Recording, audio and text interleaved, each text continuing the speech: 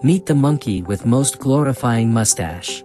This is an emperor tamarin. An emperor tamarin is a species of tamarin monkey native to southwest Amazon basin, with a range that crosses Peru, Brazil, and Bolivia. Emperor tamarins are small monkeys with 9 to 10 inches tall and weighs 460 grams.